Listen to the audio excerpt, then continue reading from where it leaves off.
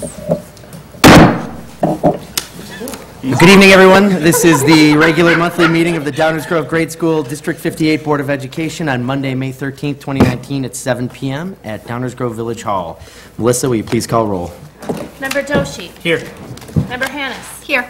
Member Harris. Here. Member Olchik. Here. Member Samanti. Here. Member Weiner. Here. Member Hughes. Here.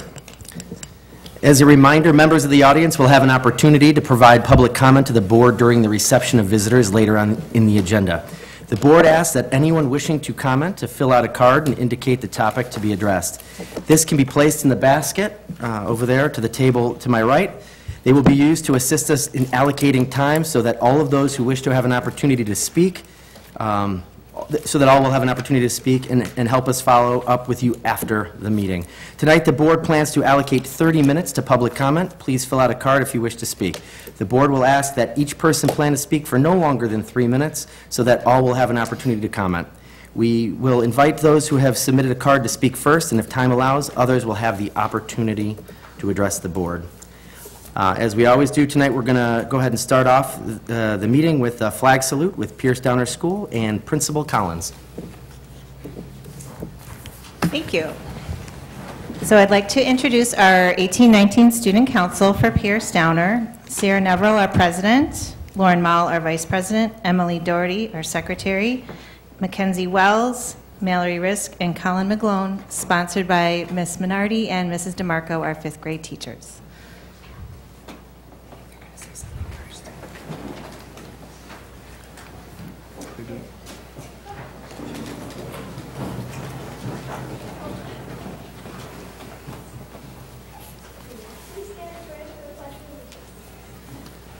I pledge allegiance to the flag of the United States of America and to the republic for which it stands, one nation, under God, indivisible, with liberty and justice for all. And I believe our student council has a short presentation to share with you.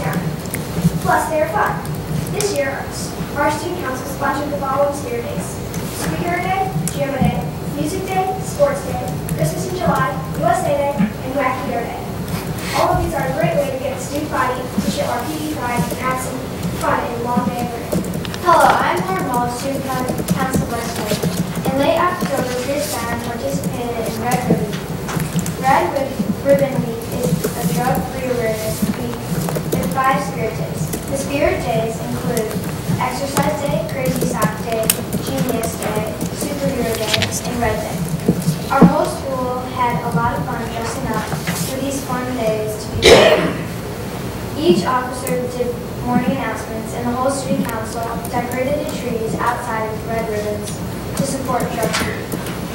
PD had a lot of fun with these five spirit days. Hello, I'm Emily Doherty, the student council secretary.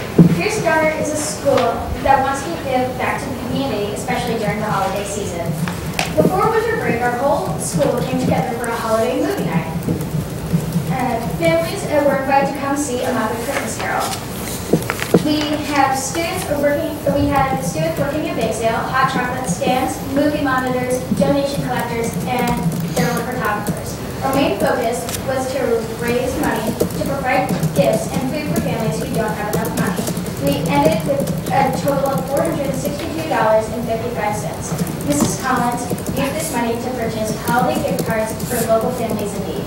Hi, I'm Mallory Risky, a member of Student Council. This year, Pierce Downer partnered up with the Service Learning Committee. The Service Learning Committee is a group of parents that work with the students in the school to serve people in the community. Student Council helped collect fancy or formal clothes to donate to Little Brook High School. These clothes were donated so that, so that others had an opportunity to have nice clothes to wear to a job interview or a fancy event. Hello, I'm Mackenzie Wells, and I'm part of Student Council. This year, one of our Spirits Days was Christmas July. Pierce Downer students dressed up in their best holiday, and in, in the keeping with the spirit of giving at the holiday season, Student Council also sponsored a collection of house good items and personal items to be donated to charity collections. Hi, I'm Colin McClone, and I am another member of Student Council. To really promote our USA Spirit Day this year, we combined it with the Service Project. We invited students to join us at lunch recess to make cards for homeless veterans. These cards were delivered to the Midwest Shelter for Homeless Veterans in Wheaton. Thank you for joining us here to present and listen to our presentation.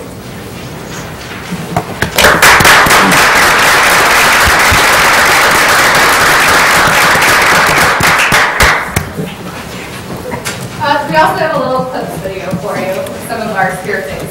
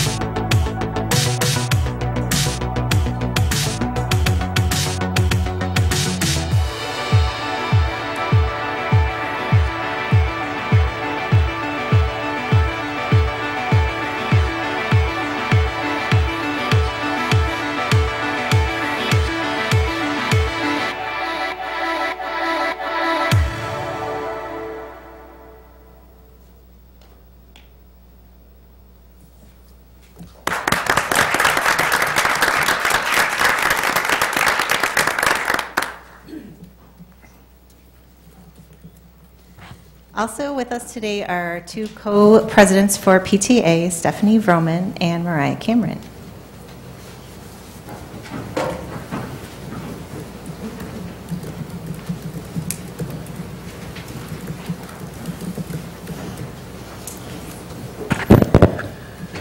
Uh, Hi, hello. Uh, Thank you uh, for having the Pierce Downer Student Council and the PTA here tonight to talk about some of the things that we've been busy doing all year. Um, I'm Mariah Cameron, this is my co-president Stephanie Vroman. Um, Pierce Downer PTA has a commitment to better the education of our students, in addition to striving to support both the parents and the teachers uh, within our community. We're able to do this through a variety of events, educational tools, and of course fundraising. Um, tonight, I'm just going to touch on a few of the things that we've been busy doing throughout this school year. Um, to start off, just some of the educational enrichment programs that we support. Um, a big one is field trips, as well as in-school um, learning experiences through a company called High Touch High Tech. Um, we um, hire them basically to come to the classrooms. The teachers get to pick uh, what they, from a big list of things that they want to learn about. Um, and they uh, try to tie it into what their current curriculum is. Um, so this just provides the students with a good hands-on, uh, real-life experience, so to speak, based on what they're learning. Um, Another thing we support or purchase for the school is Accelerated Reader Program.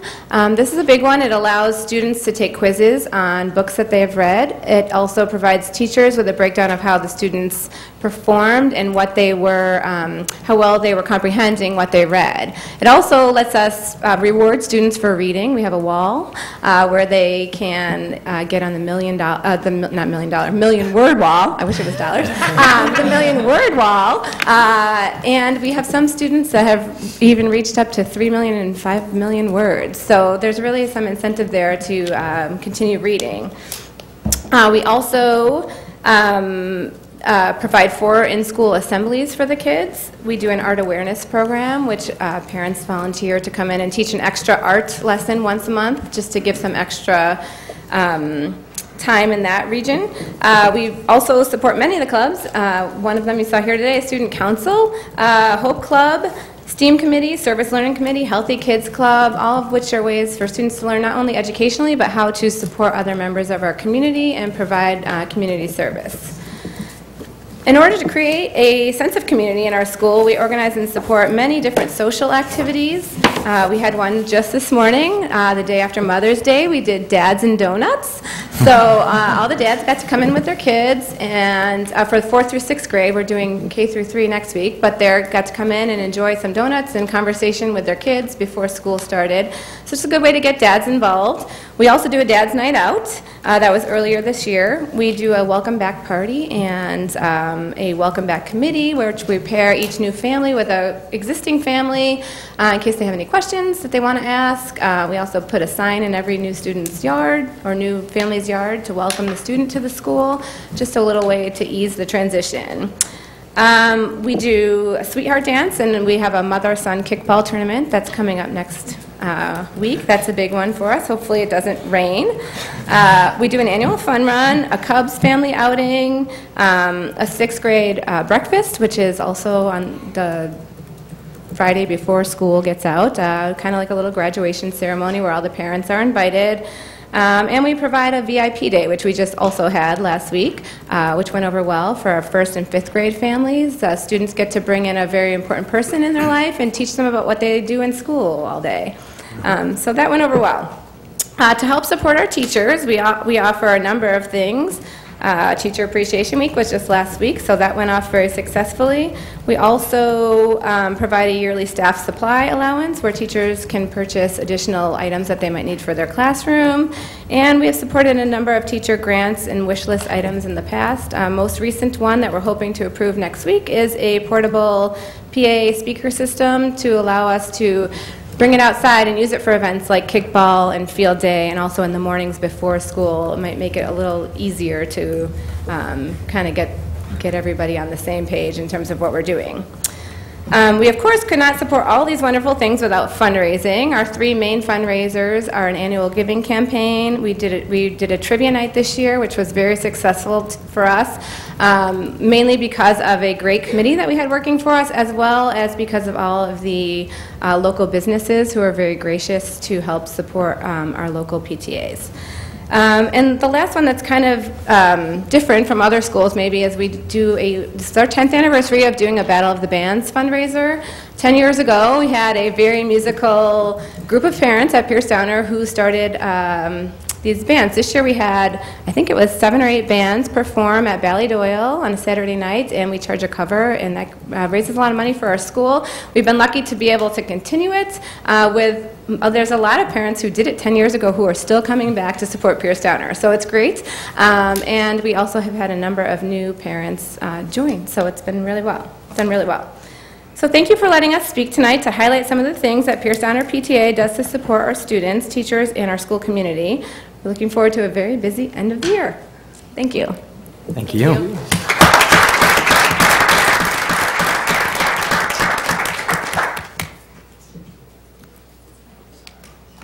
This one? All right, thank you.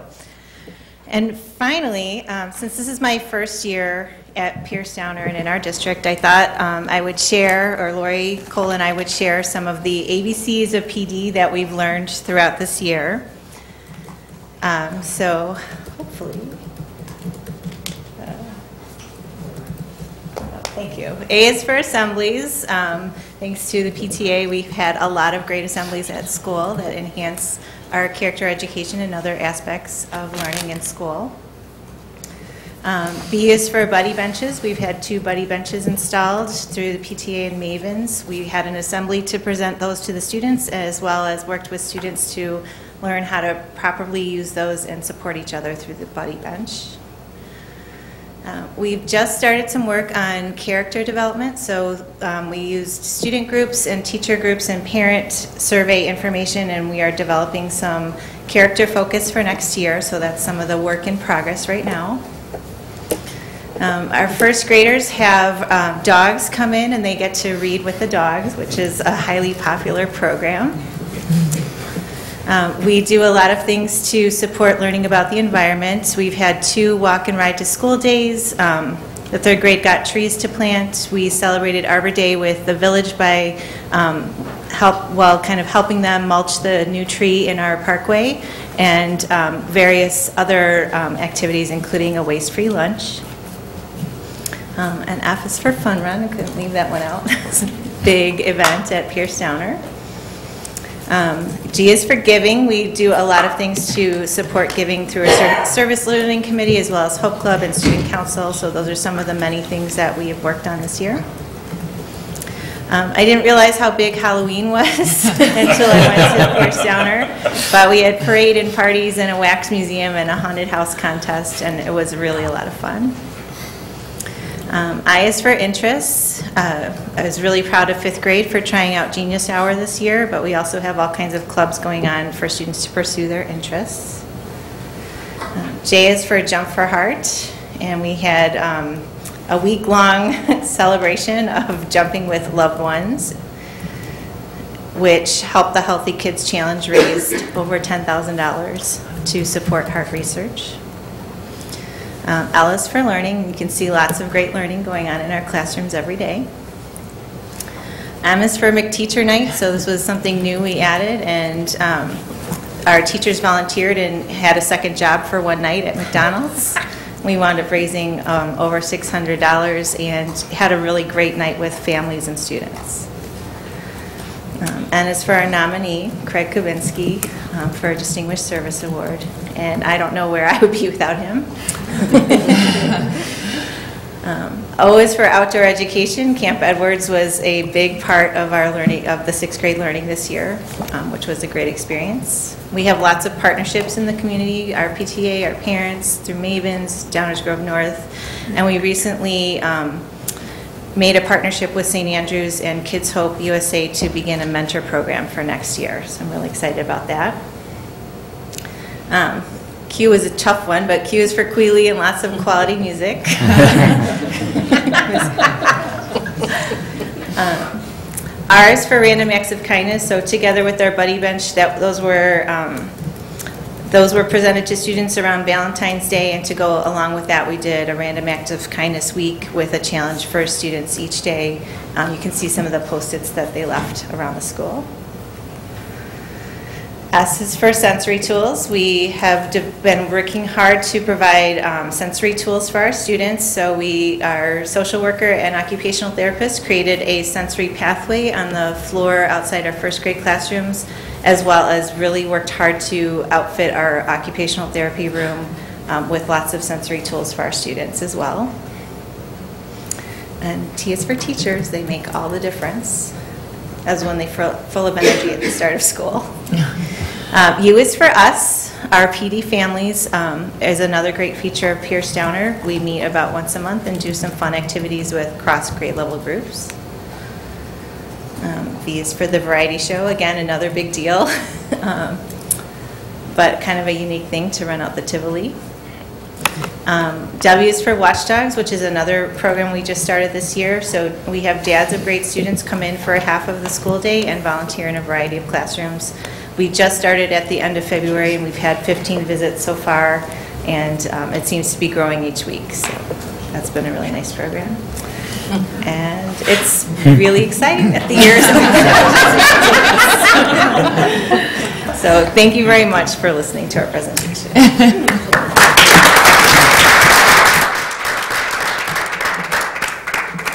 Thank you for sharing all the wonderful things going on at Pierce Downer. Uh, We would like to invite all the student council members down here. We got some, some gifts for you, if you just want to step over here to my left.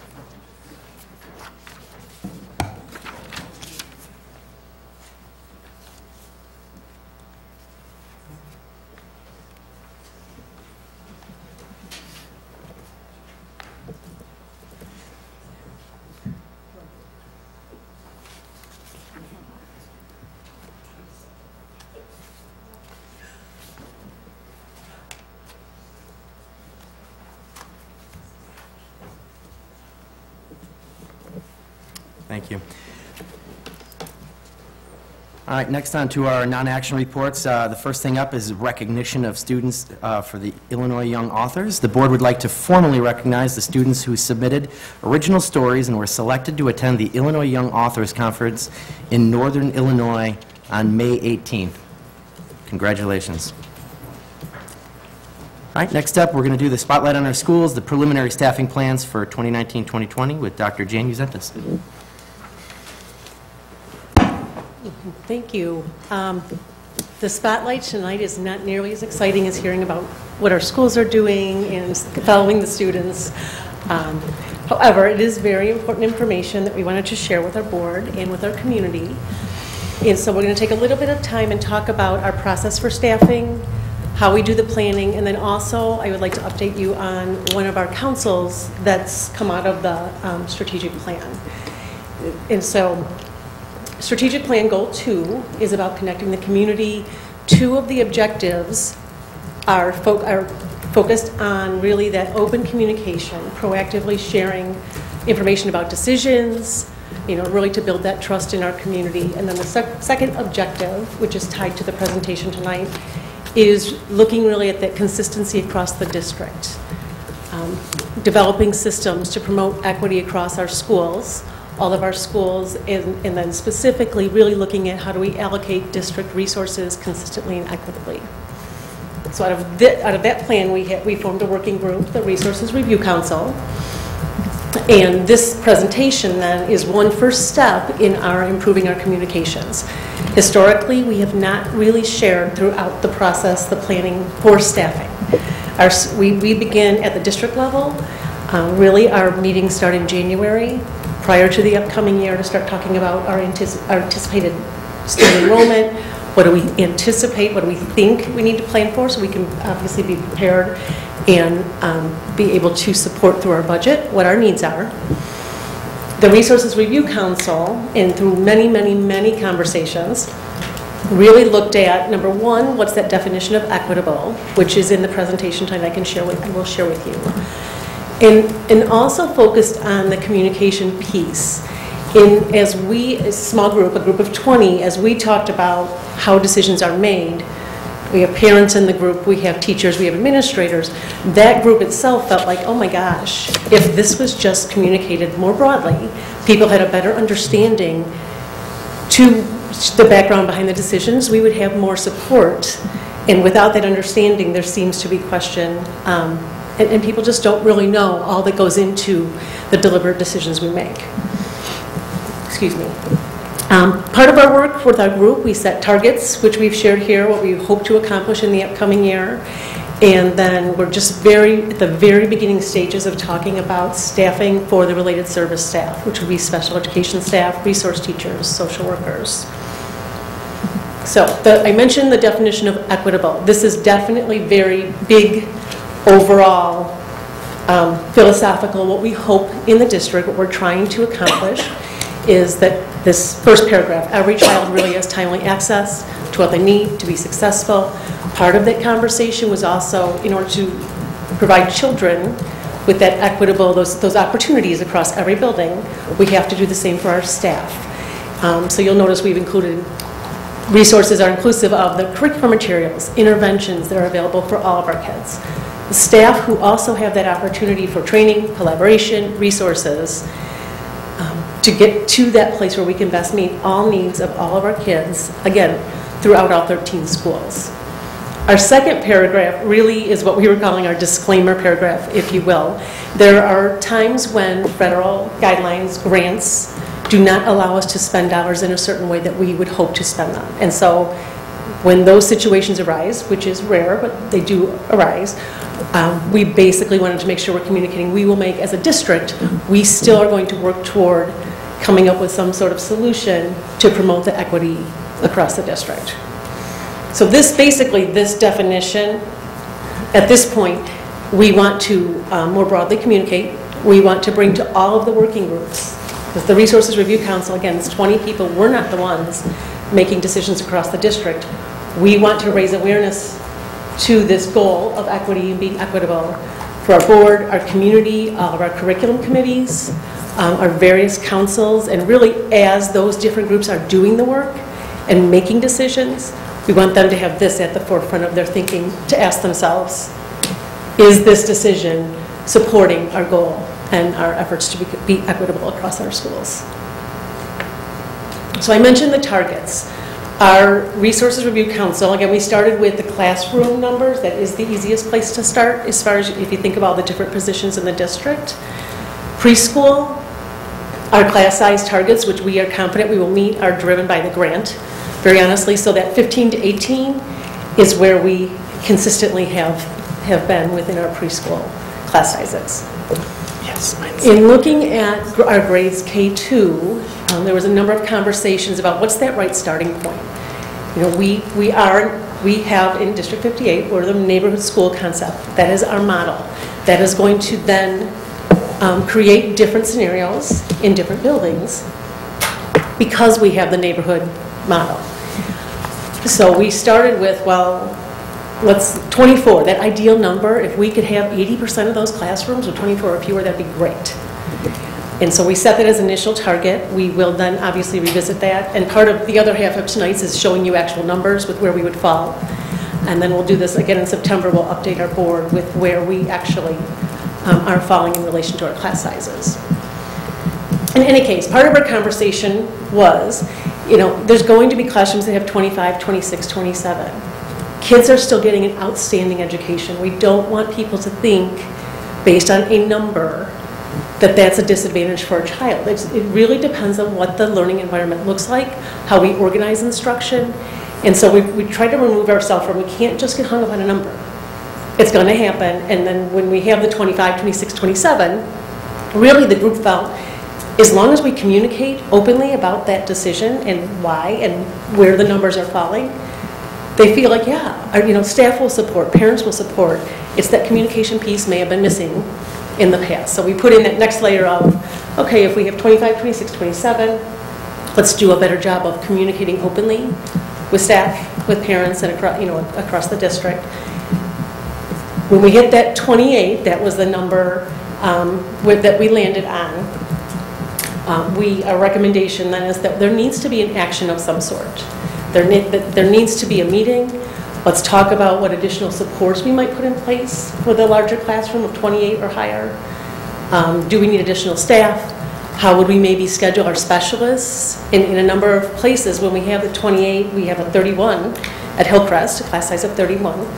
It depends. We can still support kids, and again, provide an excellent education based on how we arrange the time, the, the learning environment, so that they still have the opportunity for small group instruction.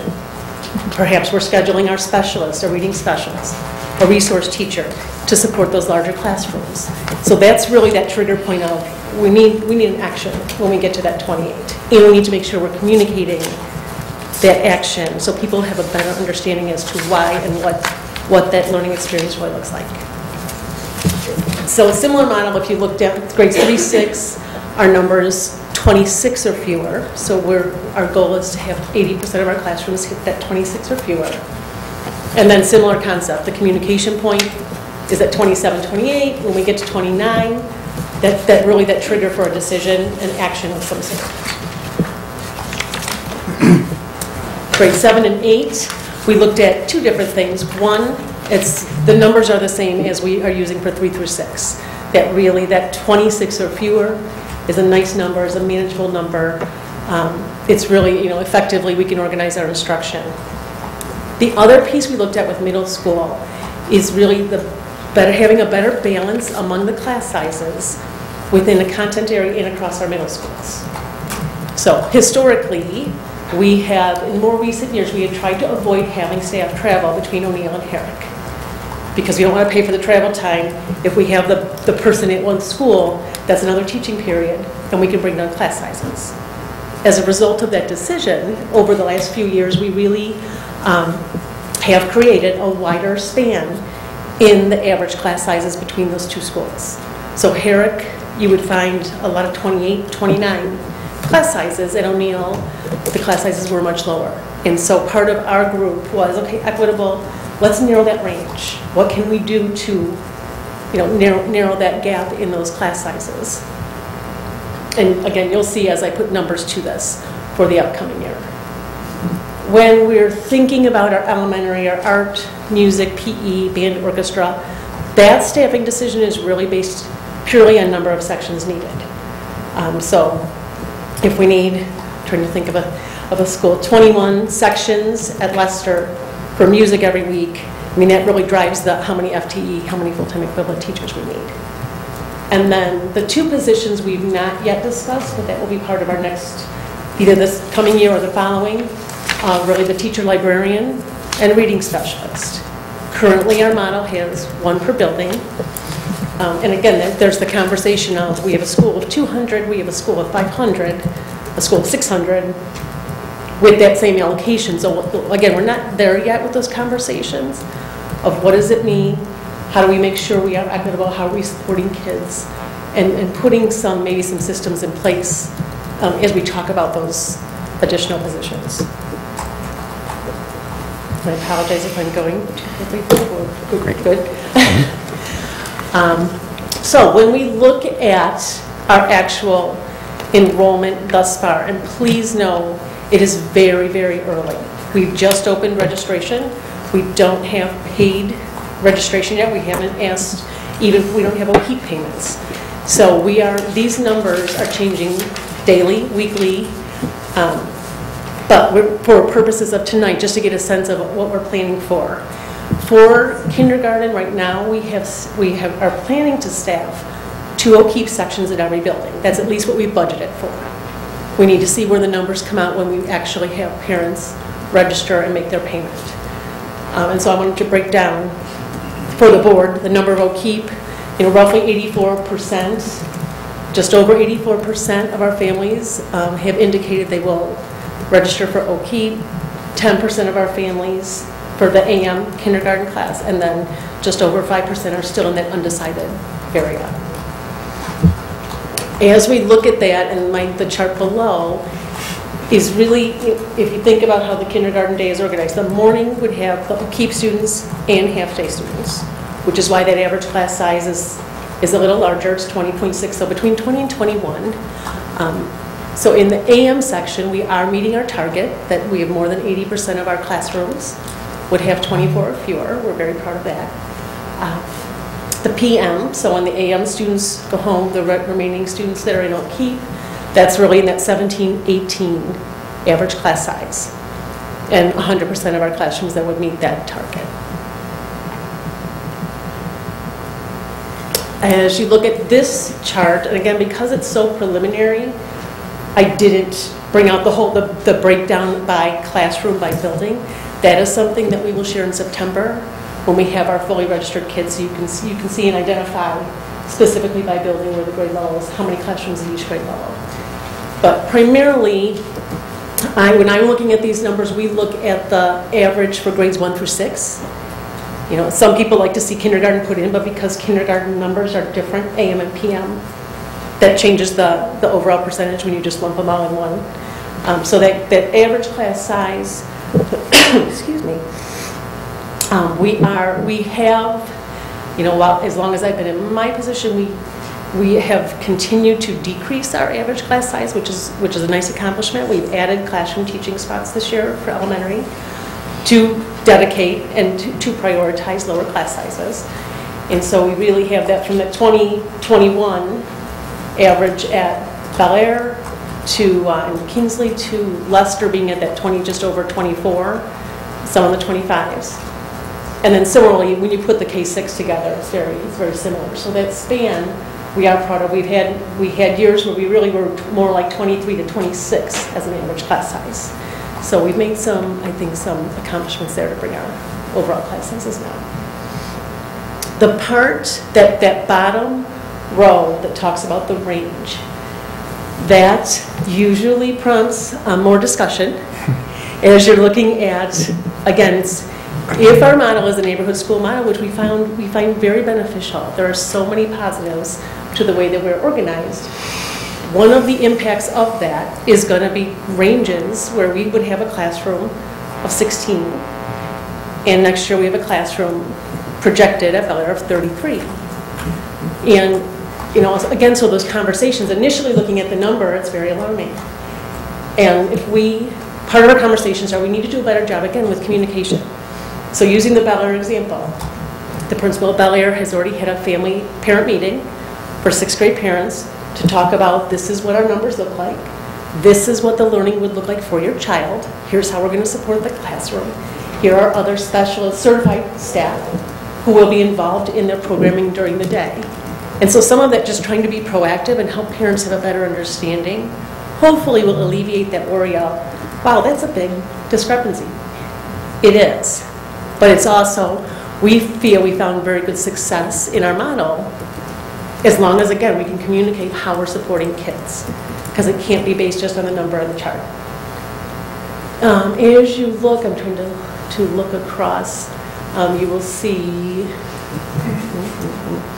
yeah, the spans, I mean, there are some narrower spans, so that's probably our widest span, but that's not uncommon. That's not uncommon, depending on the year, different school, similar range. When we look at our middle schools, uh, one of the conversations related to both Herrick and O'Neill is, you know, the, the total size. Should those schools be better balanced? There are 200, you know, there are over 200 student differences right now. Again, it's our neighborhood school concept. And there are benefits, whichever model we choose to um, use and to support. One of our goals with middle school was really more focused on looking at the content areas, looking at the math, ELA, science, balancing those class, the average class sizes between the two buildings. And so for the upcoming year to accomplish that, we have increased FTE, so we have increased our middle school staff. The other um, way to accomplish this was to move some teachers from O'Neill to Herrick, and to have some traveling teachers. So for the upcoming year, in order to accomplish this, that is, that is what our plan is, so we can better support and we can really get closer to our range, is by, by moving staff. So when we look at our targets, I wanted to show by grade level how we did with the 80%. So really, we are, again, because we knew the targets as I went into staffing, we could work together, the ASC team, and work with, you know, where we are with our budget to try to accomplish a number of these targets and try to reach our goals. Uh, Grade two and grade four, right now, are the two grades where if the numbers, if the enrollment comes in as is, we would not meet the target for the upcoming year. Uh, We still, we feel that's a celebration. We really didn't anticipate hitting all the targets in our first year. This really was just a initial conversation. The other piece, when you look at the grade two and grade four, five of those classrooms that don't meet the targets are Lester and Highland. And so in that situation, we couldn't add a teacher anyway to bring those class sizes down, you know, based on the, the space in those buildings. As we talk about art, music, and PE, I apologize, allergies. I wanted to give our board a sense of the number of staff we have, the full-time equivalents, but also, again, depending on our model, there are other impacts. We can work through any number of challenges, any number of impacts, but we also, again, it's that awareness of, depending on which building, you know, the model means something a little bit different. And so when you look at, for our specialists, Lester, we do have 12 classrooms, 12 PE classes doubled up, two classes, two certified PE teachers. Um, And really, they've done a great job. There are other districts that do have double PE classes, so we really can look at really organizing that day in more of a station-type format as opposed to a, they're not going to be playing a volleyball game, they're not going to be playing a basketball game, they're going to maybe do fitness stations, so that we can really properly supervise and make sure all the kids in both classes are active. Um, At at Highland, again, we have limited classroom space, so art and music doesn't have a dedicated classroom. Kingsley, we have hit that point also. We've added some classroom, um, with their growth in their enrollment, we have added some classroom teachers for this coming year, which also means then, as we're planning and working with the building administrators, we have 12 teaching periods for PE that either they're going to be double classes, similar to Lester, or they could use the multi-purpose room which is fine, depending on what the unit is that they're teaching, the multipurpose room works great. Um, It's really just being more organized and and thoughtful in our planning for the equipment needs, of which things you, you know, you can't, we're not bringing volleyball standards to the lunchroom at Kingsley. So it's really just that planning and organization at the building level. Um, But again, it's still a good experience for kids, it just takes, it takes time. It has to be thoughtful and planned out to make sure we can accommodate all all of our classes.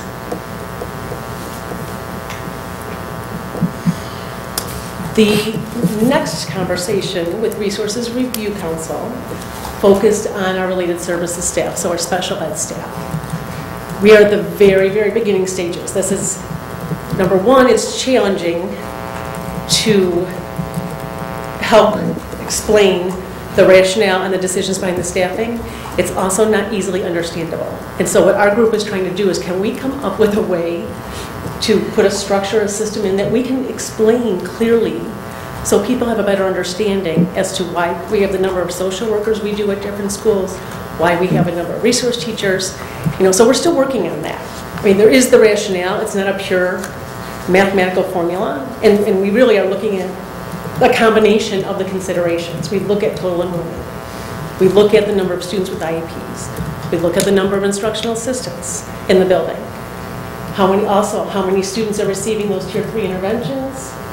How many students are below the 16th percentile? So that combination of factors drives that overall, the ultimate decision. Um, But we're really still working on what is that right way to organize it and explain it? Because there definitely is a lot of confusion, even amongst our staff, as to how, how we've done some, made some of these staffing decisions. So we're still working on that for, um, actually, really, that's next year's work, is that we've just initially begun with our council, we then actually brought the information to the administrative team, to the special ed committee, to the differentiation and assessment committee. It'll go back to the administrative team, and then back to resource review council. So we have, Jessica and I are working very closely on that.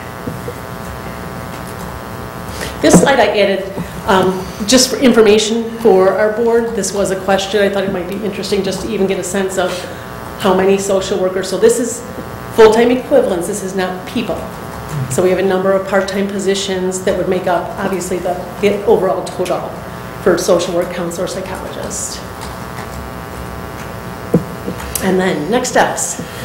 Um, We will continue our work in the upcoming year to look again at our staffing for related services. We also, then in the fall, when we have our actual registration numbers and see how all of our enrollment plays out, we'll again monitor, look at our targets, possibly adjust targets, communicate that out. The thought would be a September board meeting would be the time to update our board and our community on uh, how our enrollment um, is organized across the district. We want to begin conversations if not next year, then the following. Again, remember, the strategic plan is a four-year plan. We can do it all in one year. Um, To really look at reading specialist position, interventionist, library teacher, instructional assistants. Again, with the goal of put a structure and a system in place and then figure out how to best communicate that so that we can strengthen the understanding across our community. And finally, this slide This came from a conversation with not just resources review, but also feedback that has come to me from parents, from staff members. There's a perception, there's a feeling of, there's certain things we're not allowed to talk about. And I found that very interesting, because that's not our intent as a district. But really, you know, you do have people say, well, what about capping classes? Do we cap all, all at every building? What about combination classes? Are we going to have them? Aren't we? Can we readjust boundaries? I mean, every single one of these things has been brought up in a different, in one place or another. And my purpose here really is not to alarm anyone, because that's, that's why some people feel we can't talk about these. We, we absolutely want to be sensitive and recognize um, some of these topics could cause emotion, uncertainty. That it's just important, let's talk about what is our model, and make sure that we can stand behind our model and people understand our model. And so from my perspective, and again, talking in our group, it was, we can talk about these. Let's look, let's think to next year, we have new superintendent, our board, our admin team, as well as continuing our work. Let's talk about these things so that we can talk about why one model would be better than another. We can talk about very deliberately why we're making the decisions we are. And then we can actually have better support behind the decisions we made, if that makes sense. Um, So these, again, these are not, if taken out of context, I do realize anyone looking at this one slide, it is really just, just to start the conversation of, yeah, let's talk about why we would or wouldn't do any arrangement of these things in our staffing model. And with that, again, I know it was a lot of information, and I'm possibly raising more questions than giving answers tonight. Are there any questions from board members? I'll, uh, it's not more of a question, it's more of a, just a general interpretation. From my perspective, staffing shouldn't be simple and easy. If it was, it just, it, it it would not account for the nature of- of being an equitable school district and the fact that we have 13 buildings. Uh, It's gonna be complex, it's, there's, there's no simple solution. I just, what I love about this uh, approach is, uh, and there's still more to come, I'm sure, but what I love about this approach is, we have a number of tools in our toolkit to be able to know what are the challenges and levers that we can pull. And ultimately, we're empowering our leaders at the most local possible level.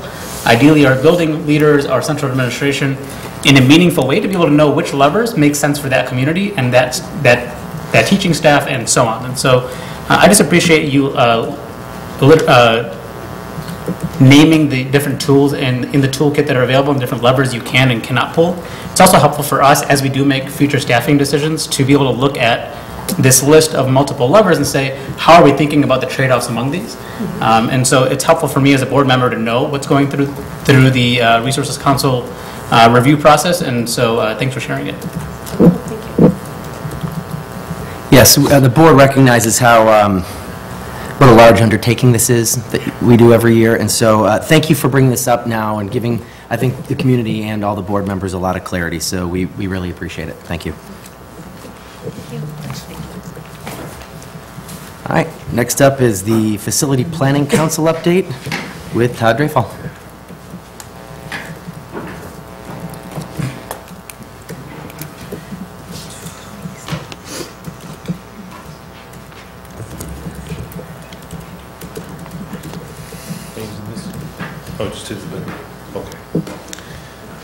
Tonight with Amy. Um, So this is, I will get to the, the graph, the line. Uh, This is our next touch point in our, uh, for the Facilities Planning Council to present to the board uh, where we're at in uh, our planning process. Uh, I was thinking about this, there's only a few more uh, months, a few more meetings before August, where our goal is to turn over a master's facilities plan for discussion and, and and development from that point. Um, So we have some initial pieces as to where we're at and kind of a uh, structure and facilities and access uh, areas that, that we've met. Uh, Last meeting uh, that the Facility Planning Council had was with the, I wrote it down because I never remember it, the Instructional Model Resource, uh, Resource Council, Review Council. Get closer. Um, Regarding their findings and their discussion, uh, and that I will get to, uh, we're coming to a community engagement session in the next couple of weeks with uh, that information as well as what the Facilities Planning Council has, has come up with. So uh, this is kind of a piece as to where we're at for the summer. And then uh, I want to get to our guiding principles. One of the pieces, after all of the conversations and deliberations through all the community engagement sessions and staff sessions, we've come down to three main guiding principles for the planning uh, for facilities. Uh, Safe and healthy environments, 21st century learning, and connectedness. And then putting within those structures uh, the items that have been listed as the top important pieces for uh, the community to, and for the district to to review and and to focus on. Uh, And and many of these have come through the strategic plan, But then they were also reiterated through all of that communication pieces, both through staff and through the community. So it's kind of come times two uh, through that process uh, over the last two years of, of work. So with that, I think I'll turn over to Amy and let her go through some of the process and where we're at with the, with the concepts. Thanks, Todd. As Todd mentioned, the guiding principles kind of reinforce the strategic plan three, which the district started off with um, a while back. And it's kind of nice because when we first started this process with the visioning in the community, um, community engagement sessions and the staff engagement, it, it just reaffirms that those priorities are still held um, high on the list to look at for all the facilities. Um, so without going back and, and, and, look, um, and kind of forcing people to look at that strategic plan model, it, it really just kind of reevaluates and re, refocuses everyone on those key priorities. Um, today, we're going to look at kind of what key drivers of a master facility plan are. And um, as an architect in, uh, in the community, because I also live in the community, and uh, these buildings hold near and dear to my heart. And, and looking at it from kind of the four key drivers up on the board um, really deal with building specific. So as we start the conversation of I like to use the word parity instead of equity because not every building is the same. So while we're going to provide the same opportunities at all your facilities, looking at what does that mean um, for building specific. Uh, because, for instance, uh, Whittier and Henry Puffer are two of your oldest buildings, so they were built back in 1928 and 1936. And so they might take a little bit more to get to that same opportunity level depending upon what we're looking at. So again, looking at it from a parity standpoint, creating safe and secure atmospheres in all of the buildings. Looking at indoor air quality and what does that mean? And 21st lear uh, century learning opportunities. Regardless of um, building improvements, all buildings need to be maintained. So what does that look like at each of the schools? Then these next two points deal really with um, district-wide connected issues. And so these can impact all of the buildings by looking at and exploring grade reconfiguration. So when we start to explore the idea of a 6-8 model for a middle school center, you automatically free up classroom space at all of your elementary schools. And then also evaluating the district facility use. Longfellow on ASC has been a conversation in the works for, for many years now and, and looking at efficiencies in consolidating the administrative staff. So in a master facility plan, um, there's kind of four main ingredients that we're looking at for District 58. Maintenance, as I mentioned before, no matter what you do, there's going to be operational costs just to keep that building maintained and up to date with, with your, your HVAC systems, your mechanical systems, um, health, life, safety issues, uh, site improvements. Um, when we talk about safe and healthy environments, we're really talking about that secure entry, the secure vestibules, that indoor air quality, and looking and exploring the opportunity to provide air conditioning at all the schools. 21st century learning, paving the way for the future. Um, education has changed over um, the last several years, and how do you, provide those opportunities for not just today, but for the future to come for students? And then something that we're calling comprehensive improvements, which really focuses on the middle schools, Herrick and O'Neill, and looking at that 6-8 middle school model and what does that mean? Because as you move um, the sixth grade students over to Herrick and O'Neill, there's going to be larger improvements that need to accommodate for um, the added enrollment. So today's focus is really going to be looking at the, the middle schools and seeing if it's feasible um, at both campuses or at both sites uh, for a 6-8 model to occur. These aren't detailed drawings, by the way. They're, they're concept planning uh, ideas of, of locations on your existing sites of where possible additions might occur. We've been working with the Facilities Planning Council um, and looking at the, these areas um, and talking through kind of some im- implementation that, that might arise from, from looking at this. So what you're seeing up on the screen right now is Herrick Middle School and the existing floor plan. So over kind of up towards the upper right-hand corner off the page would be Ogden Avenue, which is more of a commercial district. Towards the left is a residential, and then down further south is, on the page or below the page, um, is the, uh, where the playground area is, as well as um, North High School is just slightly across the street. The main entrance is identified in, is with the red arrow.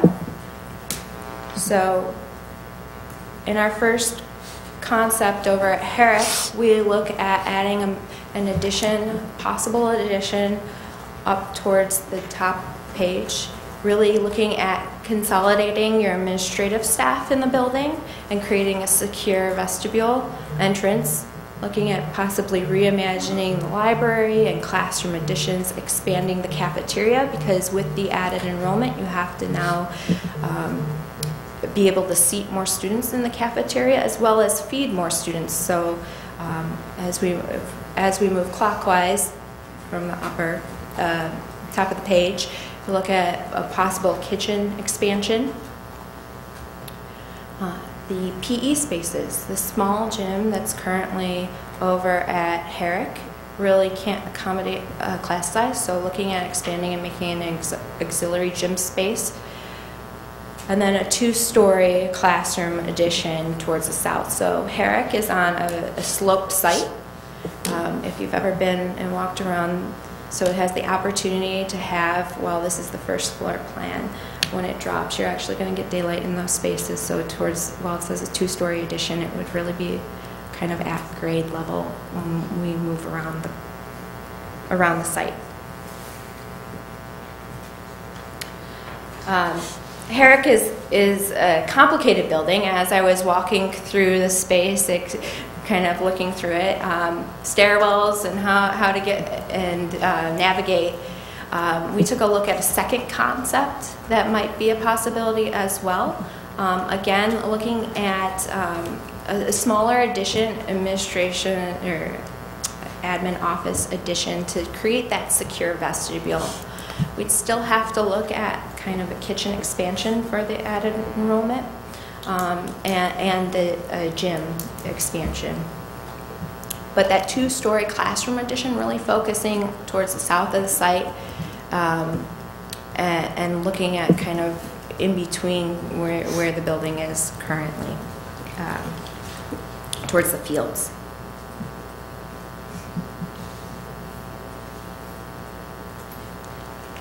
Over at O'Neill, we're look, this is the existing uh, floor plan. So up towards the top of the page would be uh, 59th Street. The YMCA is towards the left, and then down towards the bottom of the page is, is the, the play fields as well as Fairmount. Uh, the one unique thing about O'Neill is that it joins with another one of the district's properties, so you have a little bit of room between the elementary school and the middle school um, that is available to look at. Um, O'Neill, while uh, it accommodates fewer current students, it also has and hosts specialty programs. So while it looks like O'Neill doesn't have as many students as Herrick because of the specialty program needs that are currently at O'Neill that take up more um, uh, this more space per student essentially in those program needs. Um, we have to take everything into consideration when we start to look at, at O'Neill specifically. So much like Herrick, the administration um, office area is split throughout the building. So looking at consolidating administrative offices to be centrally located, and make more efficiency um, within the school. Looking at um, reimagining where the main entrance was. When I pulled up to the school for the first time, you park in the parking lot, and the first thing I looked at, I'm like, oh, there's the main entrance as you walk in. It's kind of this grand entry. No, that's, there's a little sign on the wall. It says main entrance around the corner. As you walk around the corner, it, it's, it's kind of uneventful. Not that it, it needs to be uh, a, a very celebrated space, but at least welcoming to some extent. So looking at more welcoming experience for visitors, um, parents to come into the school and be invited in. The classroom addition um, over at O'Neill would occur on, on the east side of the site, the majority of classroom addition, as well as utilizing part of the existing courtyard um, and the opportunities that a courtyard um, have. So where the current science labs, I learned from uh, talking with staff at the school that the current science labs, the curriculum actually takes advantage of those courtyards and uses them for curriculum. So the, the opportunity of, of providing additional classroom space that feeds into that courtyard. And then an expansion, again, because of the added enrollment for expanding the cafeteria and the kitchen area down towards the south.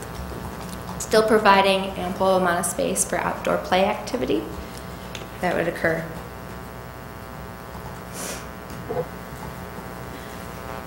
Now, the other 11 elementary schools, what does that mean for them? Um, Maintenance, obviously, looking at that um, holistically for all the buildings. The, creating a secure entrance at each of the buildings and, and looking at the opportunity to provide um, better indoor air quality and for the buildings that don't, aren't currently air conditioning, what would that take? By moving sixth grade over to the middle schools, as I mentioned earlier, frees up classroom space. And at an initial glance, it looks like it's approximately about two classrooms per building. So there's an opportunity to look at, at that 21st century learning and, and what does that mean for each one of the buildings.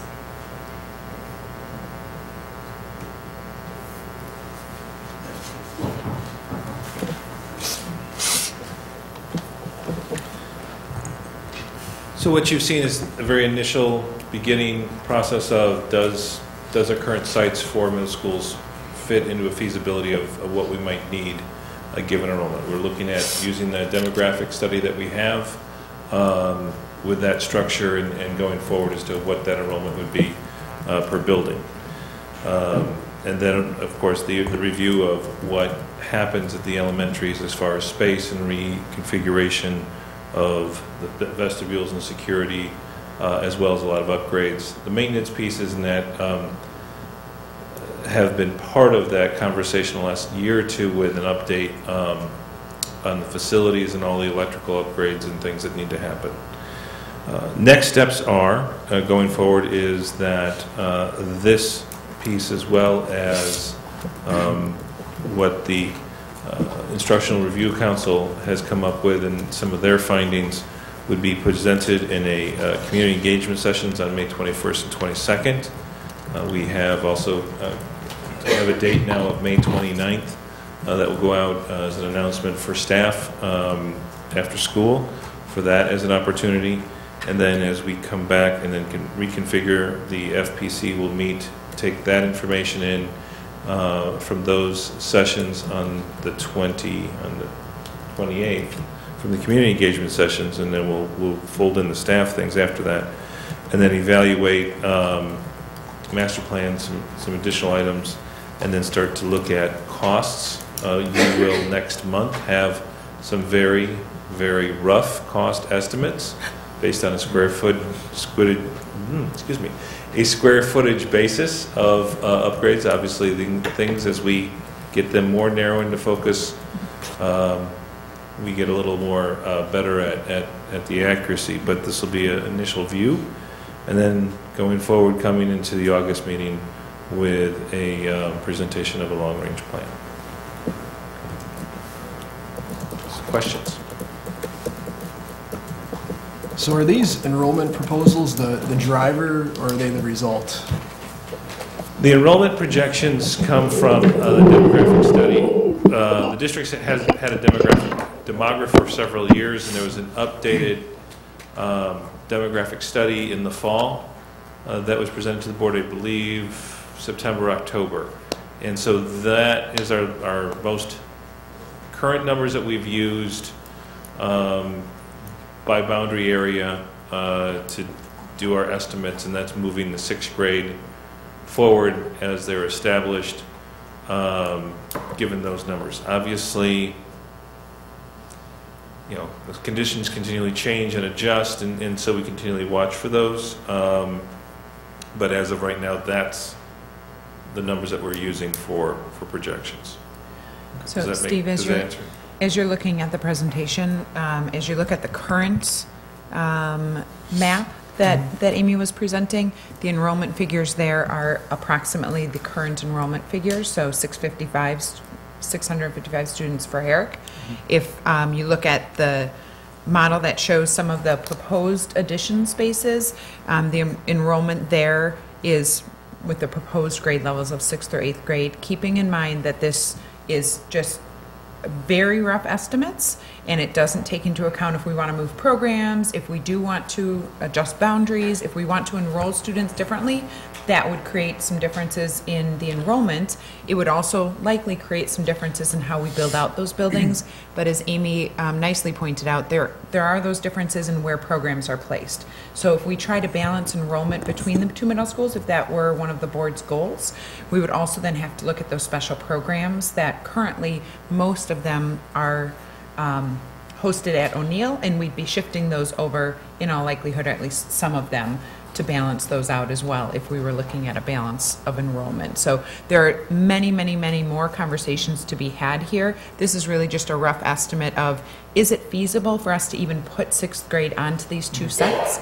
And how much additional square footage would we need? It will then become um, incumbent upon the board, our community, our FPC to really examine what options exist and in what order do we really want to look at those options. Thank you. So, Todd, I have a macro level question, uh, just to get some clarity on, on how the next couple of months are going to unfold. So, in August, as a board member, um, what am I going to be presented with? I mean, I know that's really broad, but I guess my, my question is, in August, am I going to be, is, is it like thumbs up, thumbs down on, on one package, or is it like either, either I like the way it's presented, or I'm not comfortable moving forward at all, or I mean, like, for example, like, like O'Neill, we have some options there. Uh, I'm not, I'm sorry, Herrick, we have some options there. Is that going to just be determined behind the scenes, and then we're going to have, um, in August, the board's going to be presented with that, and we're, and the board's not going to have any opportunity to weigh in on that? Like, I'm just trying to see where I'm going to be involved as a board member, where we're going to be involved as a board, and what kind of, um, uh, decisions we're going to be a part of.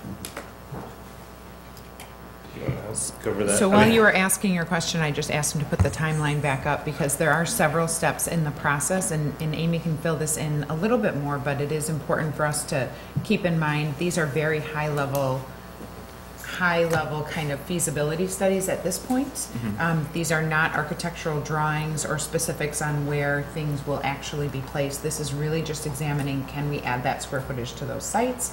And then we still have those other um, steps that we have to go through to really examine what does that square footage look like. So as you look here at the timeline, um, in August, you'll see um, step six is the facility master plan be- beginning to be recommended to the board, but we're still evaluating the finances and the implementation strategies, meaning kind of what comes next, what other things do we need to evaluate. It wouldn't be until December that the board would be asked to potentially vote on a plan. Right. The- Amy, I know you can fill that in way better than I can, That's but perfect. a simplified Um, And, version. and I guarantee uh, that the plan isn't going to be right going in the first time around. It's a process, so um, the, uh, it's not, go- these are high-level concept bubble diagrams for square footages only. As we uh, develop the master facility plan, once you get through that process, there's a whole nother series uh, of user groups and um, staff that you need to talk to, community to, to engage in order to dive into those details and, and what that's really going to be. This, to, this gives you a ballpark on, on um, square footage that is needed to be added and, and what some of those high priorities are from the community. Um, so as a board, I mean, you guys can, after we share the first initial concepts, um, providing your feedback is critical. Uh, and, and, and the direction that you feel that the community, if we, if we need to, have we gone too far? Um, that's the time to speak up. And if we need to take some steps back or reevaluate um, uh, what the priorities that we're looking at. Um, But it- it truly is up to the board to make that decision. So in- in August, generally speaking, it's still very big picture. Yes. And it'll be refined in much greater detail in between August and, and December. Correct, and you have, you you know, not having gone out and had, you know, the conversation piece, and a- as we develop this timeline, I think we all envisioned some, you know, additional levels of some, of community engagement sessions, uh, information sessions, you know, that that would be put out there to, to discuss, go through the concept pieces, you know, as to, as to what has been developed so far, and see where everyone's at, uh, adjustments, you know, these two concepts, for Herrick, there are differences in, in square footage, so there's differences in cost. And so having that conversation of to, how much is this? You know, and how does that work out with, the- you know, all of that overall, and what's, what is the community and, and and people thinking and, and looking at? And what's the final piece to come, you know, into that uh, as we get into the winter, um, in November and December? Thank you. So to So we- clarify, what we're doing here at this point is, we're looking at what's feasible. So as we move forward and we work through the educational components of the strategic plan, we know what's possible for us to do within sort of this framework that we're creating. Is, is that correct? Yep. Yeah, it- right now, you're getting the report that is, is geared or, or focused on answering the questions in step three and four. So we're still pretty early, but it's really about what do we want, the priorities, what does the Instructional Model Review Council tell us about exploring that six-eight middle school model? Uh, But there definitely are, there's a lot more to do. But we couldn't do that six-eight model if the building, if there wasn't a potential, if it wasn't feasible to do, Mhm. do some construction there. Right, Appreciate it. Right, Yeah. right. And- And and again, those, those will, there will be costs associated with that, and so you don't want to get Mm-hmm. too far down the architectural design of it in paying for those fees, if in fact, at the end of, of this analysis, we determine, the board determines, or the community determines, we don't have the money or don't wa- want to invest in that manner in Mm-hmm. our schools. So, um, so you you really do need to be careful about how much, how, how far into the weeds you get at this step of the process. I have a question. Uh, You might have said it, and I, um, I didn't catch it, but for the, on the 21st and the 22nd, what is, what is the, what does the community engagement look like? I went to one of them before where we placed the stickers on, and like, what was important to us, the yellow, red, and green. What, what it, what exactly is a community engagement? What are you asking? The community engagement session will be a, a presentation of both, uh, a short presentation of the Instructional Model Review Council and this presentation, um, and then a series of several questions for people, you know, giving them, a- asking, asking for some feedback, where, you know, what are they thinking, what are they seeing?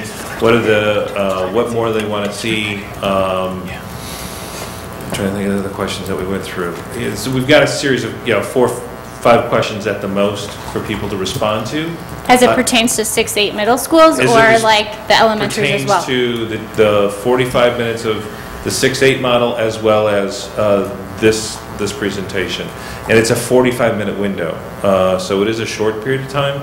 Um, You know, they can respond afterwards, it'll be electronic um, or paper if they want to, you know, to do that. Um, But that's, that'll be the format for that, those two days, as So- well as the staff presentation on the 20th. So at this point, Tracy, it really is getting feedback on the step three and four, the outcomes of those steps three and four. So as we look through the presentation tonight, it really is getting feedback on the guiding principles for facility planning. Do those seem like the highest priorities? Are they well articulated? Are they easy to understand for our community? The Um, four pieces, the maintenance, the safe and health. Nope, so earlier in the presentation, the those, guiding okay. principles. And then there's another piece where we're looking at the key drivers of the plan. Um, Is that making sense to the community? What more information might they need? Um, Are there elements here that, that really need to be built out a little further? Those, the feedback on those, because that really sets our priorities, that really um, determines what those key drivers are of the work within the master facility plan.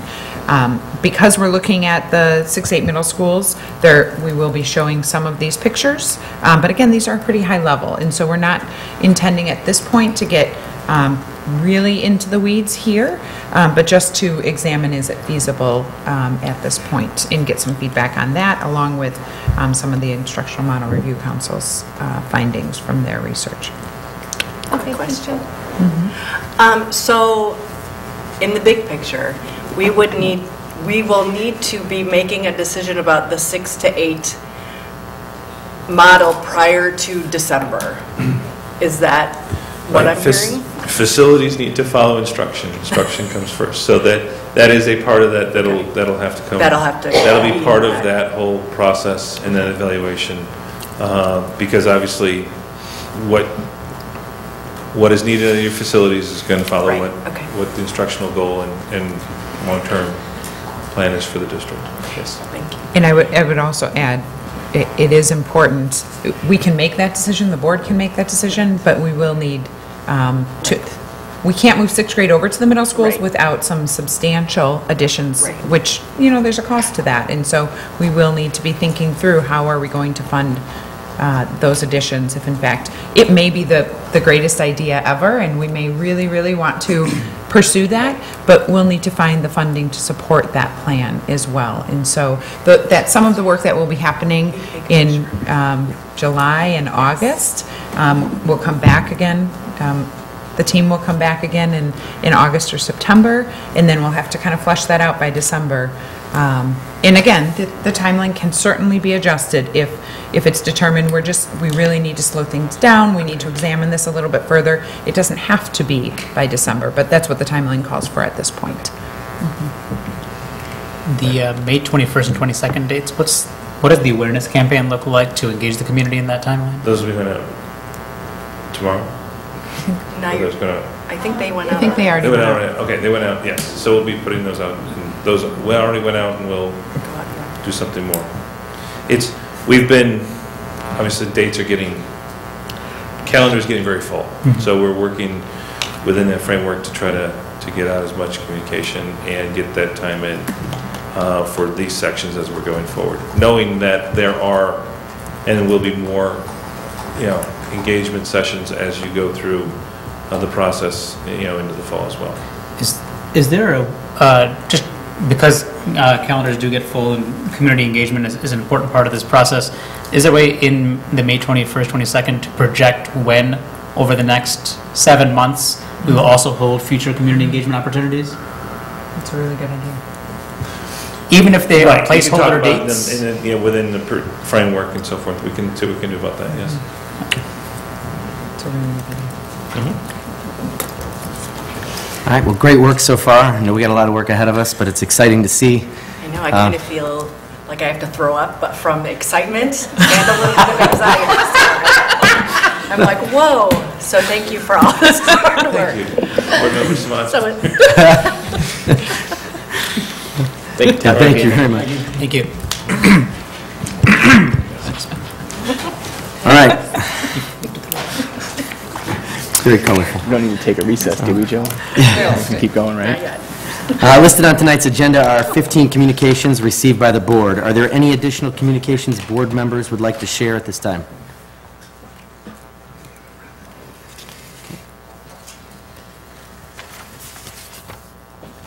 And with that, we'll move on to the reports of the board, starting with uh, Dr. Cremascoli.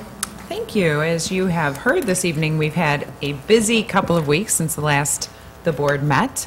Um, As Jean and Todd both shared, we are working hard on the strategic plan um, and in preparing for the 2019-20 school year. Um, We've also reorganized our Board of Education, so we certainly have been busy. In addition to this diligent work, we have um, also, this is the time of year where we have a lot of celebrations happening throughout our district. And so I just want to call the board and the community's attention to some of those. We celebrated our Distinguished Service Award winners. Uh, We had a record number of nominees this year. We're really happy with that. And Todd McDaniel and Nicole Ferroli were named as our DSA winners for this year. We also celebrated our Teachers of the Year, Karen Ryan and Tracy Leach, and we also celebrated our Select 58, our eighth grade students who are recognized for that award as well. Many thanks to the foundation who helped to support um, some of those programs too. Um, Our open houses at each of our schools went incredibly well. They were well attended over the last couple of weeks by our parents. Uh, Thank you to our teachers and our staff who helped to make that really a wonderful celebration of our students and their learning throughout the school year, as well as the opportunity for many of our students and parents to explore the grade level they might be entering in the upcoming school year. Um, We've also had teacher and staff appreciation. Last week um, was that really special week where our teachers and our staff are really celebrated. Uh, Thank you to our parents and our PTAs and our community members who supported so many really wonderful events at our schools in celebration of our, our teachers. Thank you to the board for delivering coffee cakes to each of our schools as well. Um, We've also had the opportunity to have Kevin Russell in all of our schools. I think Kevin has now had the opportunity to visit all of our schools. He's met with our central office staff. You see him here tonight. We did a welcome reception for him, um, but we've been busy acquainting him or reacquainting him to the district as the case is, in fact. Um, On a couple of other notes, registration for the upcoming school year continues. You heard Jane this evening talk about how important those numbers are. Um, We have a really good sense of what our registration is starting to look like in most of our grades. Kindergarten, we're still waiting on the O'Keepe registration to wrap up so that we can uh, rehire some of those teachers back. Um, And then we also have some part-time teachers who um, we're still waiting on that, those enrollment figures before we can call them back to duty as well. Um, But beyond that, you'll see on tonight's consent agenda, um, many of our teachers are being called back um, at this point, and so we're really excited to be able to uh, recall those teachers. Um, We also had a half-day of school improvement last Thursday. Our teachers engaged in a variety of learning and professional development activities, along with collaboration and school improvement work at their schools for that afternoon. So that was a really great day for, for so many of our teachers. Um, and, let's see, I think that, that pretty well wraps up um, my report to the board. We do have a, a number of things on our consent agenda and later in the agenda as well. Um, And I'm excited to have a new board here to help us move forward as we plan for the upcoming school year. So I'm happy to answer any questions if anyone has any.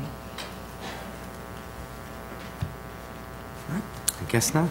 It has been a busy time of year, and... Super busy Yeah, this time of year. But it's fun, too.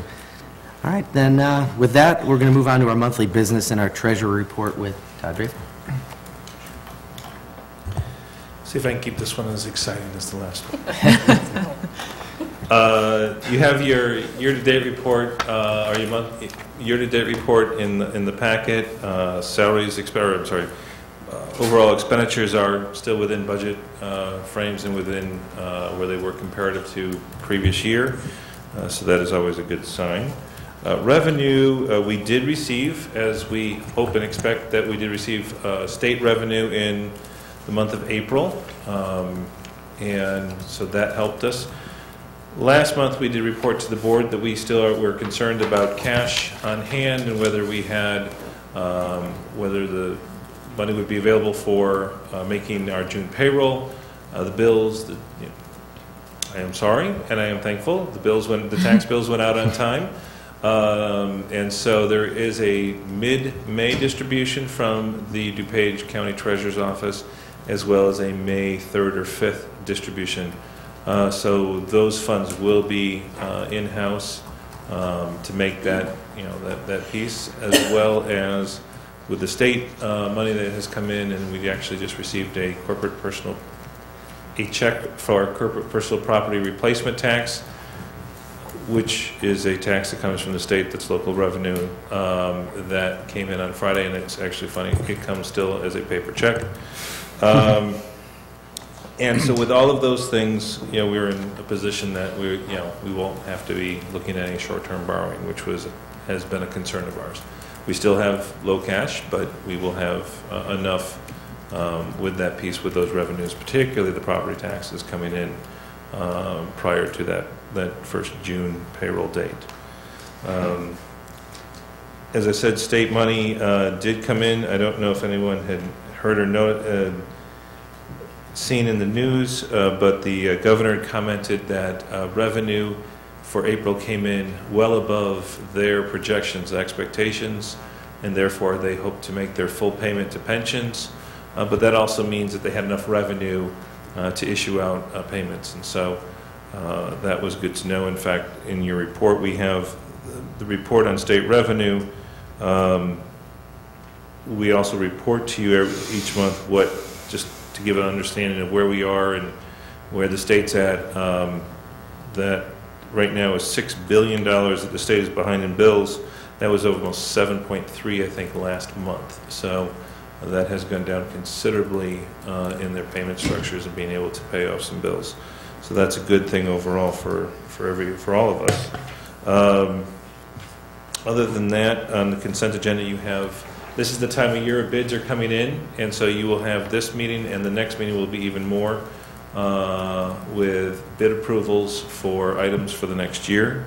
Um, This month, we have the copiers. This is something that uh, every so many years we do. Uh, This is a complete replacement of the copiers that we have in the district. Um, We have some projected savings for that. Uh, We will consume some of that savings because one of the things that we are able to do with this uh, restructuring is that we will have a color copier in every main office in every building starting the school year, which is something that they do not currently have. Um, So we are working that, we are upgrading that. We'll also be replacing, taking out some of the color printers uh, that are also in those main offices. Those are much more expensive to run than those copiers. Uh, So we're doing some efficiencies in that process. So, and uh, Katie Hannigan did a great job in putting all of that together and going through what was a very long process, uh, as well as James from the technology, uh, working through all of that. So we have it installed in the end of June coming, uh, pending your approval, and that will be an exciting piece. Other than that, if there are any questions? Great, thank you. Excited to hear the state's paying their bills. so. So are we. Okay. Next, we're going to move on to the Policy Committee. The Policy Committee did meet on April the 30th, and uh, Jill Samonte will report.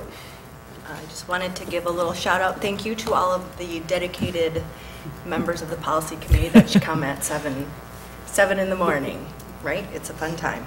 Um, So we went, we did, a we, we went over quite a few things in the last um, meeting. Um, For first reading, um, there's two about student rights um, and behavior on search and seizure and bus conduct, and then the general school administration policies that have to deal with goals and objectives. Um, That was just aligned with press, as well as our organizational chart, and then uh, supporting documentation that changes the names of positions to go along with that. Um, And as well as pulling the policy for um, the controller, since we don't have one, we're going to recommend that that be um, deleted. Thank you. And then the policy 1150, the community relations, citizen communications with the schools and the board is the um, public comment section um, that we had tabled last time after the March um, meeting. At this meeting, we had more conversation um, specifically with and about uh, the three unions that are um, present at most of our board meetings and just where in policy um, specific language about their communication with the board would be. And so we tabled um, 1150 for now, and then the committee received many um, supporting uh, policies where some of that language may live. Um, Mark was going to talk with um, the union. Um, And so coming back for the next meeting, when we also discuss um, health uh, policies, um, we will discuss and figure out exactly where that all lives. Any questions? No? All right. Anything else, Tracy, to add? No, that Okay. And with that, is there a motion to approve for first reading the following draft policies and place them on the June board agenda for final approval? 2001, Goals and Objectives, 2002, Organizational Chart, 2020, Deputy Superintendent, 2031, Assistant Superintendent for Curriculum and Instruction, 2032, Assistant Superintendent for Personnel, 2042, Manager of Business Services, 2043, Assistant Superintendent for Technology, 5121, Search and Seizure, and 5131.1, Bus Contact, Conduct. Is there a motion? So moved. Is there a Second. second? Any discussion? All in favor? Aye. Aye. Any opposed? Motion carried to approve for first reading draft policies 2001, 2002, 2020, 2031, 2032, 2042, 2043, 5121, and 5131.1, and place them on the June board agenda for final approval. Is there a motion to approve for first reading the deletion of policy 2030.5, Administration Controller? So moved. Second. Any discussion? All in favor? Aye. Any opposed? Motion carried to approve for first reading the deletion of policy 2030.5, Administration Controller. Uh, Next up is the Legislative Committee. The Legislative Committee met on April 17th, so Member Doshi. Yep, so uh, we, uh, as I mentioned in a previous uh, recap, the legislative breakfast is the Super Bowl for the Legislative Committee. Um, And uh, we had a, uh, we had that event uh, a couple months back. Uh, And so we debriefed at this committee meeting on uh, how that went and what could go better for uh, next time. Um, We liked the fact that we added surrounding districts as attendees. Uh, That was a helpful uh, move in the right direction, we felt. Um, The next step is to make sure that we can get more representation from our legislators at the event. This time around, we had two legislators represented um, at the event and one at the after-party. Um, And so uh, we- we'd we'd like to have, we'd like to have more attendees next year. Um, And uh, we came up with some strategies on on how to make that happen. And uh, uh, if you want to hear about all the details on that, uh, Megan is our agent in charge for executing some of those, but we're, we're excited for the potential for more legislators to come next year. Well, I just want to say, from my perspective, it was so nice to see the surrounding districts there and, and the village turnout. Um, The turnout from that perspective was fantastic. It was very well done, and your comic stylings that, that started off in the, uh, the morning were, were great as well. I'm here all week. Uh, Next up is the Financial Advisory Committee, um, which I'll report on. We met last Friday, May 10th. A lot of the stuff that we discussed, obviously, uh, we heard from the Business Office Report and the Treasurer's Report. Uh,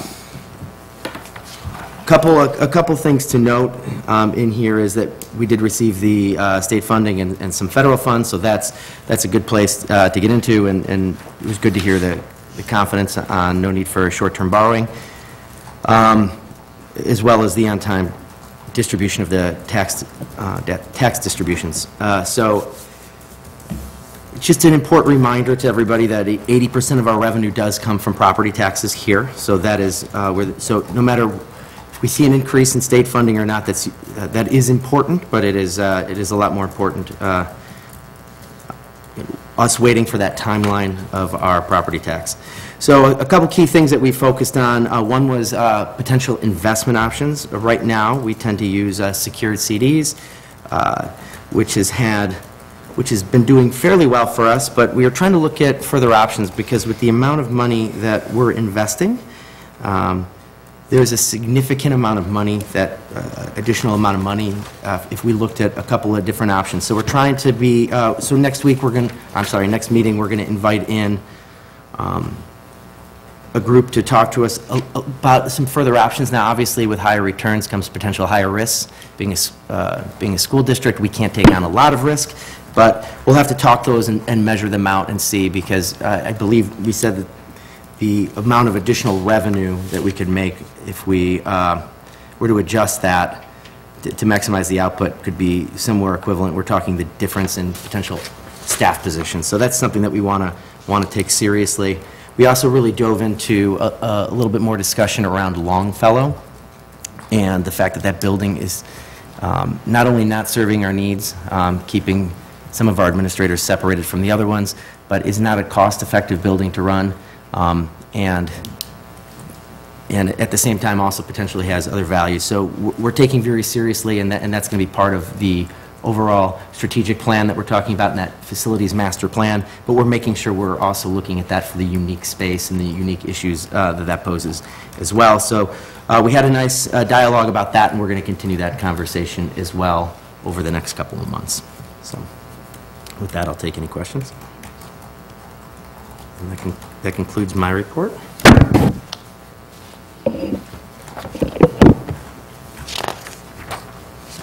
The district leadership team did not meet since the last board meeting. All right. Moving on, we have no discussion items this month, so the next step will be our reception of visitors. This is an opportunity for members of the audience to share public comment with the board, but is not intended to be a time for members of the public to enter into a dialogue with the board. Issues raised during public comment may be added to future agendas or addressed by administrative staff as appropriate. Uh, Reminder that criticism of individuals is not in order. We encourage you to keep your comments to a three-minute limit to allow everyone the opportunity to speak. Uh, Do we have any cards? No. All right, so at this time, we have received no cards, so if there is anybody out there that is interested in speaking, we just ask that you step up to the podium, state your name and your attendance area, and then provide your public comment.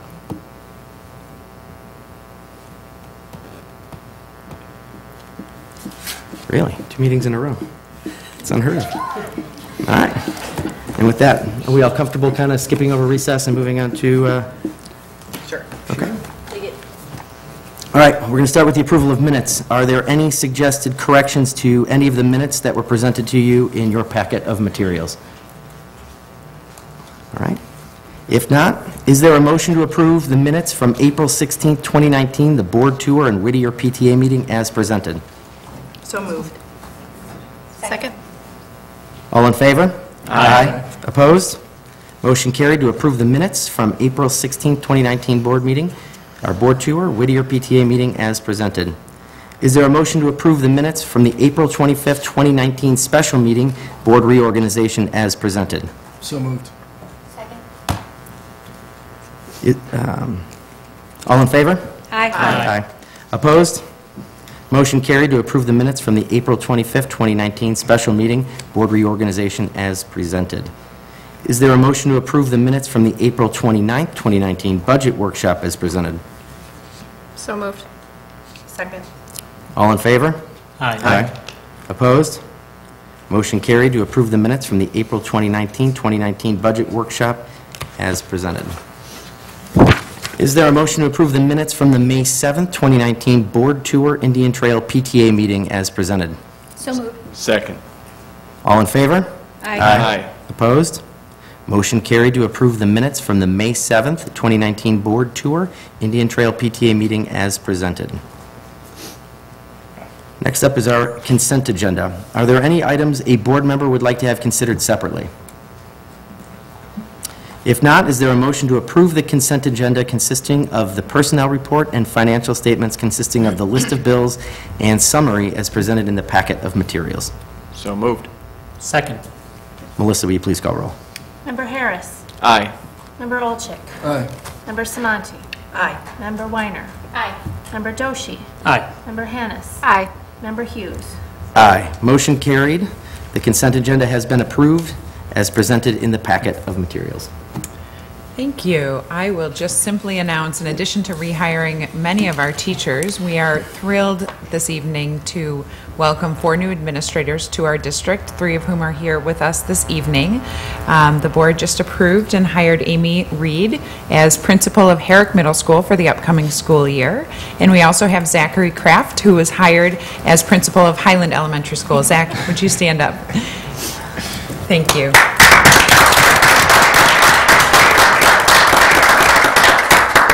Thank you very much. I'm very honored to be a part of the Highland team and the Downers Grove 58 team.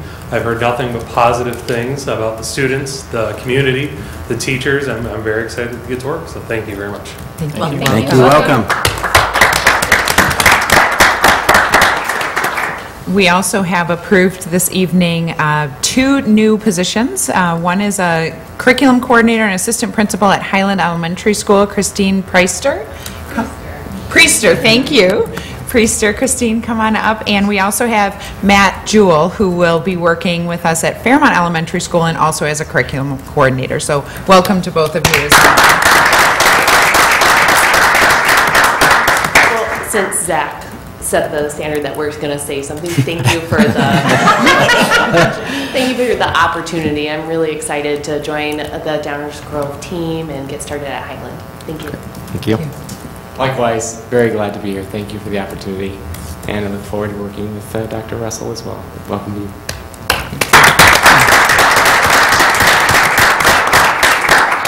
We had a really strong pool of candidates for each of these positions, and we're just thrilled with um, the choices of the committees and, and thrilled that the board supported those recommendations this evening. So welcome to everyone. Thank you. Thank you.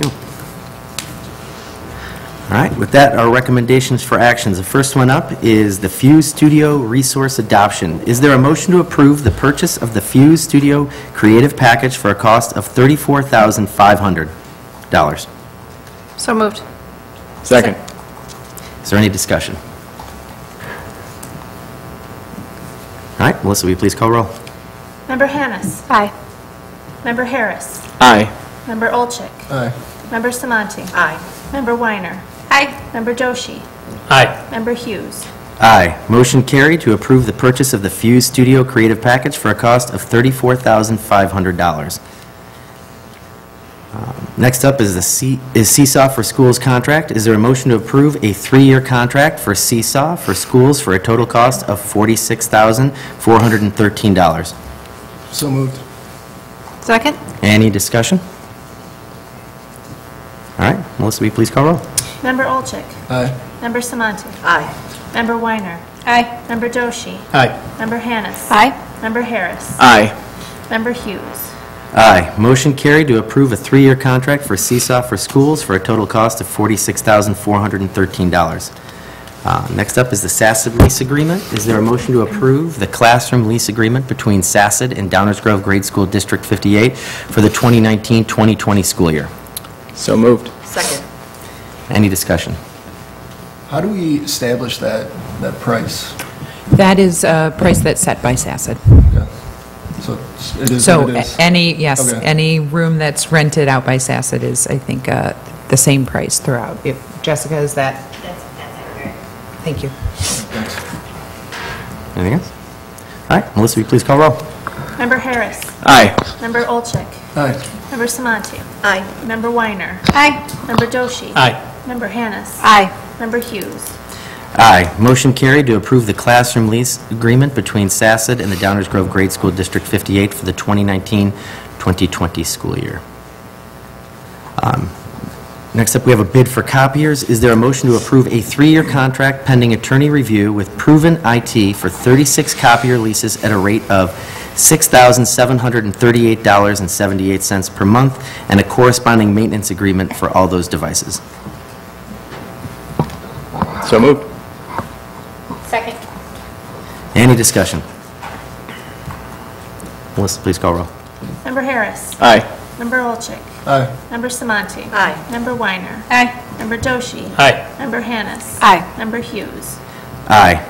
Motion carried to approve a three-year contract pending attorney review with Proven IT for 36 copier leases at a rate of $6,738.78 per month and a corresponding maintenance agreement for those devices. Next up is the bid for custodial supplies. Is there a motion to approve the bid for custodial supplies as presented? So moved? Second. Any discussion? Melissa, please call roll. Member Hannis. Aye. Member Harris. Aye. Member Olchik. Aye. Member Samanti. Aye. Member Weiner. Aye. Member Doshi. Aye. Member Hughes. Aye. Motion carried to approve the bid for custodial supplies as presented. Um, The resolution authorizing accounting transfers to debt service fund to implement, uh, to implement state regulations. Due to an error, that resolution as presented, uh, there was an error in that resolution as presented, so we're going to table this item until the June board meeting. Um, So we do have a second reading, though, of of some policies. Uh, Is there a motion to adopt revisions to policies 5100, admission residence, 5101, school admissions and student transfers, 5131, student behavior and discipline, 5138, prevention of and response to bullying, and 5138.2, sexual har- harassment prohibited, and six- 6002, Title I programs. So moved. Second. Any discussion? All in favor? Aye. Any opposed? Motion carried to adopt revisions to policies 5100, 5101, 5131, 5138, 5138.2, and 6002.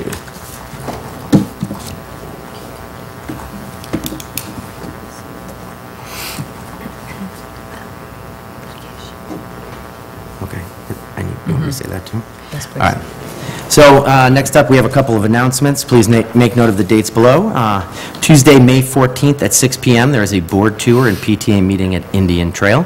Thursday, May 16th... No. That was last week. Oh, It's El Sierra. Yeah, it's a- okay. Well, then, on May 14th at 6 PM, there's a board tour PTA meeting at El Sierra. Thursday, May 16th at 4 PM is the DGEEA Board and Administrative Collaborative Meeting at Nani's. Um, Tuesday, May 21st at 7 a.m. is the Policy Committee co- Committee meeting at the ASC. Tuesday, May 21st at 4 p.m. is the District Leadership Team at Longfellow. Friday, May 24th at 11:30 a.m. is the Retiree Luncheon at the Hyatt Lodge in Oak Brook. And Wednesday, June 5th at 7 p.m. will be our next regular board meeting. All right. Uh, The board will now meet in closed session. Is there a motion to move in closed session to discuss, not this, not the first one, right? Uh, Collective negotiating matters between the district and its employees or their representatives, or deliberations concerning salary schedules for one or more classes of employees, 5 ILCS 122C2, the placement of individual students in special education programs, and other matters relating to individual students, 5 ILCS 122C10, student disciplinary cases, 5 ILCS 122C9, and we don't need litigation. Is there a motion? So moved. Any discussion? Melissa, please call roll. Member Harris. Aye. Member Olchik. Aye. Member Samanti. Aye. Member Weiner. Aye. Member Doshi. Aye. Member Hannis. Aye. And Member Hughes. Aye. Motion carried. The board will now move into close session after a short recess at, on 9 PM.